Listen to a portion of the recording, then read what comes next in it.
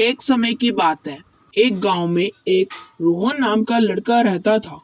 वह बहुत ही जिद्दी बच्चा था। वह अपने दोस्तों की चीज़ें देखकर अपनी जिद पूरी करता था।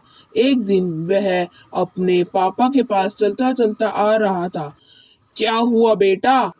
पापा, मेरे दोस्तों ने वीडियो गेम है तो मुझे भी एक वीडियो गेम चाहिए।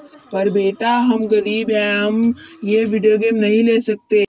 पर पापा मुझे चाहिए चाहिए। कुछ महीनों बाद उसके पापा ने उसको वीडियो गेम तो नहीं दिला पाया पर उसे एक बैडमिंटन दिला दिया। कुछ दिनों बाद वह अपनी कुछ नई जिद करने धीरे धीरे चल के आ रहा था।